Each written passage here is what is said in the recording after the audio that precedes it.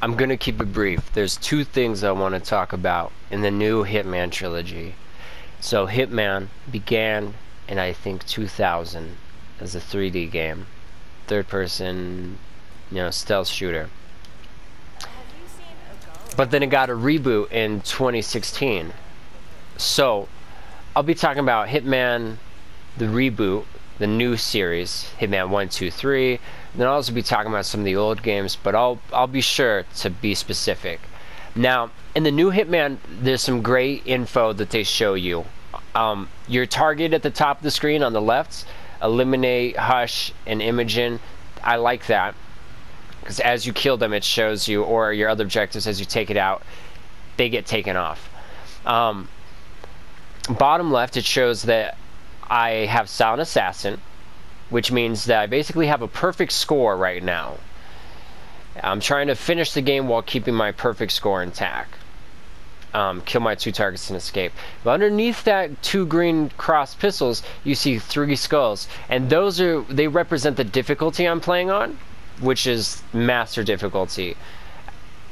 That is dumb and I'll explain why, because that information is not entirely necessary, but I appreciate it. The three skulls. Here's the information that is entirely necessary. I need to know if people are searching for me, like if I'm being hunted, or if my cover's blown. And I also need to know if I'm trespassing.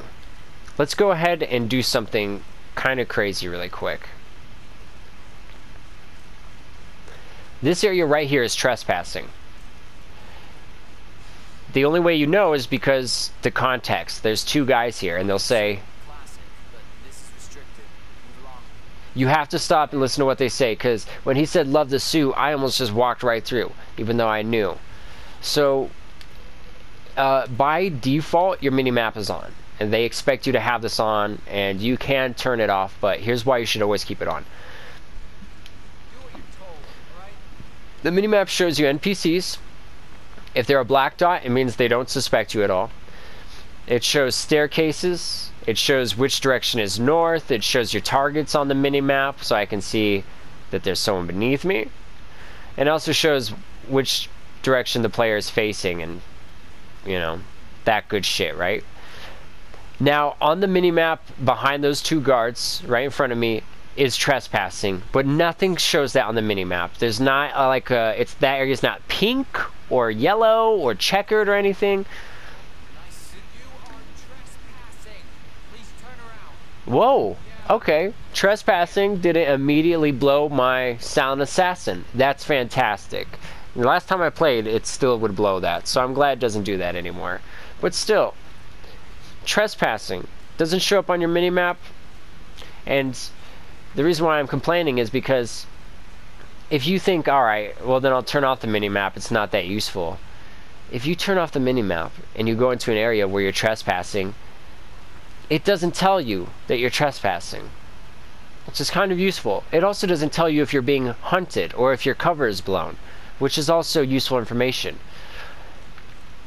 One thing that annoys me, and this is more a change on the design and not like their conveyance, is Check this out. She's not the target, but she's going to have a little accident. Oops. Ah, that was an accident.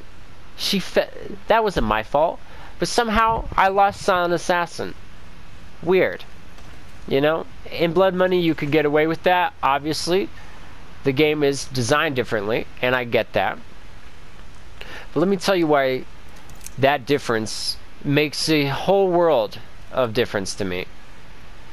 Because in this game, the mini map and instinct that lets you see through walls, these are tools that they want the player to use constantly.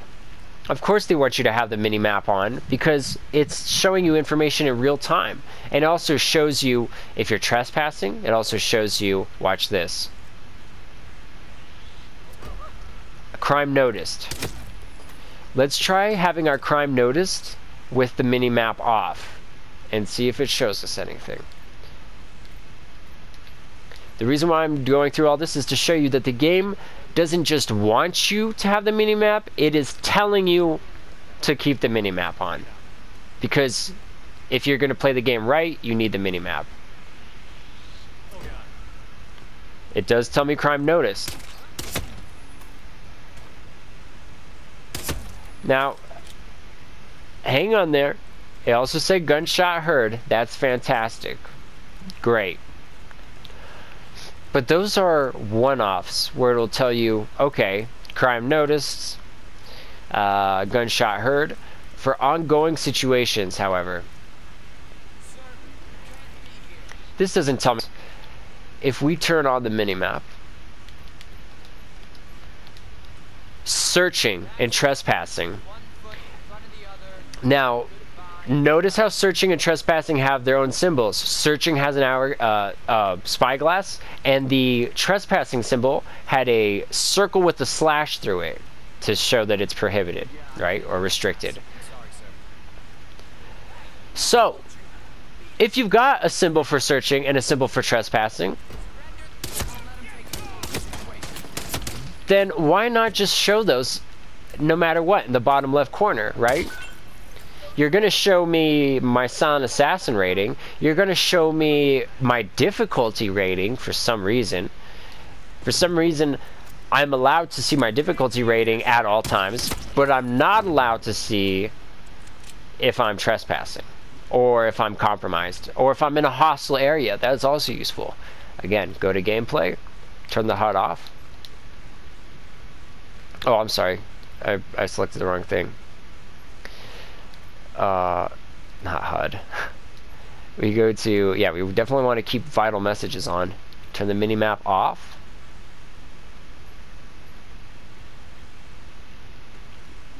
Oh, thank God it tells us we're being arrested, though. Uh, it's just that... So, okay, what this means is you have to play with the minimap on. I'm almost done with my rant. Okay, so we have to play with the mini-map on to get all of the information that's necessary to get Silent Assassin in this game. Okay, so we're playing with the mini-map on now. And it's telling us that we're hunted, and it's going to tell us if we're trespassing. Fantastic. Why do they want us to play with the mini-map on? Because again, it shows our information in real time at all times. We don't ever have to do this. You never have to open up a menu and select your map and look around. You never become disengaged from the gameplay. Now, on one hand, that's fantastic. Always being in the game is what you want, especially in a stealth game like this, right? But let me make a counter argument. I'm going to say that despite the map in Blood Money taking you out of the game, it actually enhanced the immersion, or should I say, the engagement the player had. In Blood Money, if you wanted to see what a target was up to, it was like this. Alright, no mini map. Okay, and I want to see what's out there. Well, I can't use instinct to see through walls. So in Blood Money, you would press the map button, which would automatically pull up the map. You wouldn't have to worry about this BS of like cycling through shit. And boom, the map here would show you not just your targets, but would show you all the NPCs. You'd see a guard right here, and you'd see which way he's facing. And if he's turned and he started walking, you'd see that. But the whole point is, your map is open, so you can't move, but you're observing everything. What if you see another guard coming down this way and he's coming right towards your door and he's turning like he's going to come in here? Then you might take cover. He opens the door and he walks past, and you're sitting here sweating. Holy shit, that was so close. You will never have a moment like that in the new Hitman because you know where everyone is, always. You will never be surprised. You will never be snuck up on. You won't have to do any work to keep track of anything. There's your target. There she is, always. And you might say, oh, well, you can turn off the mini map. No, you can't, you idiot, because then you don't know if you're trespassing. You don't know if your disguise is ruined. You can't even pull up your map and look at it because this pauses the game. That takes away all of the feeling of being hunted or being in uh, somewhere you're not supposed to be while looking at a map and trying to get your bearings. That all goes out the window because the game pauses. And not only that, it doesn't show NPCs. And not only that, you don't have a map button, you have a press pause button, and then you cycle over to your map. All of it sucks. And now, sure, you could just say, well, who cares? Why do you just not play with the mini map? And why don't you use this? Because I spend the whole game looking at the mini map. I spend the whole game checking every corner with instincts. And what does it do? It makes me into the perfect killing machine, you know? It makes it so that even my grandma, if she saved as much as I did, like I said, could get Silent Assassin. But I don't care about games where anyone can get Silent Assassin no matter like by sheer process of elimination and trial and error. I liked how in Blood Money someone could see you with your gun out and they could run to tell the cops, but if you knock them out and you throw them off of the steamboat, they drown. There goes the witness. Accident kills don't count. You get to keep Silent Assassin. It's the difference between if Blood Money was like jazz well, Absolution just ruined this whole series, and there's no more jazz element. There's no more improv. There's some people who are great at this game and can do the like thinking on their feet. Imp- you know, the old games might have wanted you to memorize shit, but you know, this game it's literally impossible to do it without a mini map. Maybe you could memorize the map. Maybe it's an issue the map's being too big. Maybe it's not an issue at all. But the game is different. You know, I'm not trying to say the Blood Money was the best Hitman game ever, but Contracts had the same type of map. And it, it invoked the same feeling of being like, you know, behind enemy lines. And, you know, maybe I just like an old, shitty way to play video games. But that's okay. This game is still good. The series is still fantastic. But their changes to the minimap and to just the way it conveys everything makes it easy. Makes it easy in a way where you're a different kind of hitman than you used to be. You're not so scrappy. You're not thinking on your feet. And it's not like you didn't grow as a player in the old Hitmans either. You still would get better at those games. But in this game, man,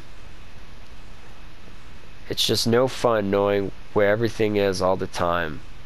Sometimes it's useful, but the fact that after your first playthrough, there's not an alternative, you either know everything or you know nothing. It uh it's just not it's not for everyone. This game's not terrible, but I'm telling you, I think I've outgrown it, if that makes sense. I really like the Hitman series, the new one. And I think that if someone hasn't played the new trilogy, they've got to. It's one of the best stealth games. But uh, it's not like Dishonored, you know. This is a this is kind of a puzzle stealth game, you know. Uh, enemies don't even react to sound. They barely react to sound in master mode, for Christ's sake. So, do with that information what you will. At least you can hide bodies. You know, it's not as bad as Ubisoft yet.